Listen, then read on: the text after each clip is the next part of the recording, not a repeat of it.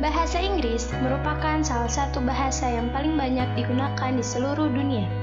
Lebih dari 400 juta orang di seluruh dunia menggunakan bahasa Inggris. Di era global saat ini, akan semakin banyak perkembangan yang terjadi, mulai dari perdagangan bebas, dunia pendidikan, sosial media, sehingga bahasa Inggris sangat penting. Untuk membiasakan bahasa Inggris, aku menghabiskan liburanku dengan belajar ke Kampung Inggris Pare. Kampung Inggris Pare merupakan salah satu destinasi tepat untuk menghabiskan liburan menjadi bermanfaat. Tak hanya meningkatkan kemampuan berbahasa Inggris, namun Pare memberikan banyak kenangan, kenangan manis maupun pahit.